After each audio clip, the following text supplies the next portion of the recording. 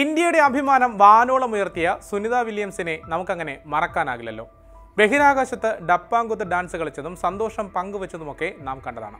എന്നാൽ സുനിതയെയും കൂട്ടരെയും കാത്തിരിക്കുന്നത് വലിയൊരു ആപത്തിനെക്കുറിച്ചാണ് ഇപ്പോൾ ശാസ്ത്രലോകം ആശങ്കപ്പെടുന്നത്. അതിനെ എങ്ങനെ ഇവർ തരണം ചെയ്യുമെന്ന ആകാംക്ഷയിലാണ് ലോകവും. പരിശോധിക്കാൻ വിശദമായി. നമസ്കാരം. ഞാൻ കുഞ്ചു മുരളി.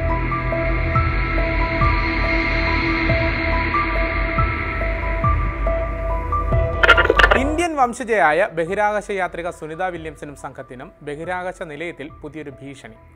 പുതിയ ബാക്ടീരിയയുടെ സാന്നിധ്യമാണ് നിലയത്തിൽ അപകടകരമായ സാഹചര്യം സൃഷ്ടിച്ചിട്ടുള്ളത്. മൾട്ടി ഡ്രഗ് റെസിസ്റ്റന്റ് ബാക്ടീരിയയായ എൻഡ്രോബാക്ടർ ബുഗൻ ഡെസിസിന്റെ സാന്നിധ്യമാണ് ശാസ്ത്രജ്ഞർ കണ്ടെത്തിയിരിക്കുന്നത്.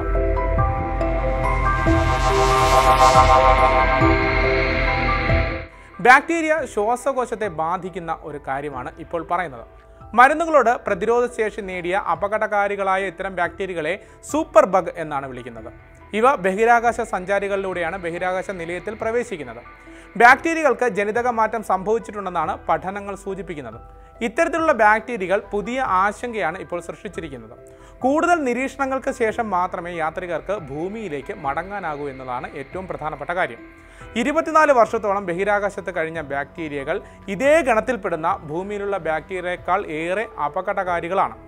നിലയത്തിൽ കഴിയുന്ന ബഹിരാകാശ യാത്രികരുടെ ശരീരത്തിലെ പ്രതിരോധ ശേഷി ഭൂമിയിലെ നിന്ന് വ്യത്യസ്തമായതിനാൽ ഭൂമിയിലെ ചികിത്സാ രീതികൾ എത്രത്തോളം ഫലപ്രദമാകുമെന്നതും പറയാനാകില്ല.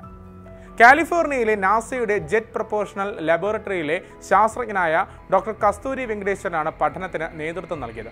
അതായത് നമ്മളൊക്കെ ഈ കാൽപ്പനികവൽക്കരിക്കുന്ന പോലെ അല്ലെങ്കിൽ നമ്മളൊക്കെ പറയുന്നത് പോലെ അത്ര സുഗമമല്ല കാര്യങ്ങൾ. അങ്ങേയറ്റം അപകടം നിറഞ്ഞൊരു യാത്രയാണ് ശൂന്യാകാശത്തേക്കുള്ള യാത്ര. പുറത്തുനിന്ന് കാണുന്നത് പോലെ അത്ര എളുപ്പമല്ല ബഹിരാകാശ നിലയത്തിലെ ആ ഒരു ജീവിതം മുന്നോട്ട് കൊണ്ടുപോവുക എന്നത്. ഗുരുത്വാകർഷണമില്ലാത്ത അവസ്ഥയിൽ കഴിയുന്നത് എല്ലുകളുടെയും പേശികളുടെയും തേയ്മാനത്തിന് കാരണമാവുകയും ചെയ്യും. നട്ടലിന് തേയ്മാനമുണ്ടാകുന്നത് തടയാനുള്ള മരുന്നുകളും വ്യായാമങ്ങളും എടുക്കുകയും വേണം. അങ്ങനെയുള്ള ഒരുപാട് കടമ്പകളിലൂടെ കടന്നു പോകേണ്ടതുണ്ട്. ശാരീരികവും മാനസികവും ഒക്കെ ആയിട്ടുള്ള നിരവധി പരീക്ഷണങ്ങൾക്ക് ശേഷമാണ് ഒരാളെ ഇതിനായി തിരഞ്ഞെടുക്കുകയും ചെയ്യുന്നത്. തിരിച്ചിറക്കുമ്പോഴുള്ള ഗ്രാവിറ്റിയിലെ മാറ്റവും വളരെയധികം പ്രശ്നമുള്ള ഒരു കാര്യമാണ്. ജീവൻ പണയം വെച്ചുള്ള ഒരു കളി തന്നെയാണിത്. ഇനി തിരിച്ചു വരില്ല എന്ന പോലെ എല്ലാ കാര്യങ്ങളും ചെയ്തു വെച്ചാണ് ഒരു ബഹിരാകാശ യാത്രികൻ പുറപ്പെടുന്നത്.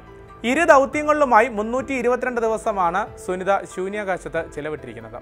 രണ്ടായിരത്തി ഏഴ് ഏപ്രിൽ പതിനാറിന് അന്താരാഷ്ട്ര ബഹിരാകാശ നിലയത്തിന്റെ ട്രെഡ്മില്ലിൽ ഓടിക്കൊണ്ട് അവർ ബോസ്റ്റൺ മാരത്തോണിൽ പങ്കെടുത്തിട്ടുണ്ട്. നാല് മണിക്കൂറും ഇരുപത്തിനാല് മിനിറ്റുമാണ് അവർ അവിടെ ഓടിത്തീർത്തത്. അങ്ങനെ ആദ്യമായി ബഹിരാകാശത്ത് കൂടെ ഭൂമിയെ വലം വെച്ചുകൊണ്ട് മാരത്തോൺ മത്സരത്തിൽ പങ്കെടുത്ത ആദ്യത്തെ വ്യക്തിയായി സുനിത വില്യംസ് മാറുകയും ചെയ്തു. രണ്ടായിരത്തി പന്ത്രണ്ടിൽ ട്രയൽ ടണലിന് ആവശ്യമായ മൂന്ന് പ്രവർത്തനങ്ങൾ ബഹിരാകാശത്ത് പൂർത്തിയാക്കിയതും സുനിത അമ്പരിപ്പിച്ചിരുന്നു.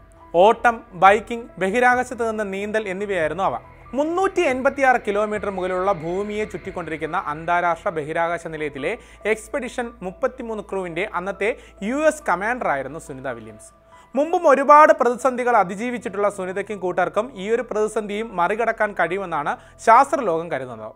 നാസയുടെ ബഹിരാകാശ യാത്രികരായ സുനിത വില്യംസും ബെച്ച് ഫിൽമോവറും ബോയിങ് സ്റ്റാർലൈൻ പേടകത്തിൽ അന്താരാഷ്ട്ര ബഹിരാകാശ നിലയത്തിൽ ജൂൺ ആറിനാണ് എത്തിയത്.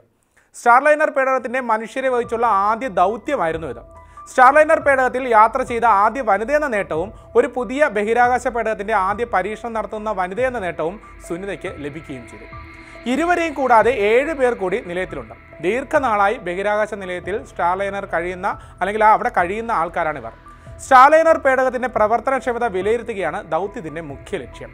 നിലയത്തിലേക്ക് സ്വയം ഗതി നിർണയം നടത്തി സഞ്ചരിക്കാനുള്ള പേടകത്തിന്റെ ശേഷി വിലയിരുത്തിയിരുന്നു.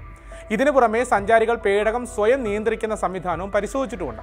ഭൂമിയിലേക്ക് തിരിച്ചു വരുന്ന സ്റ്റാർലൈനർ പേടകം കരയിലാണ് ഇറങ്ങുക.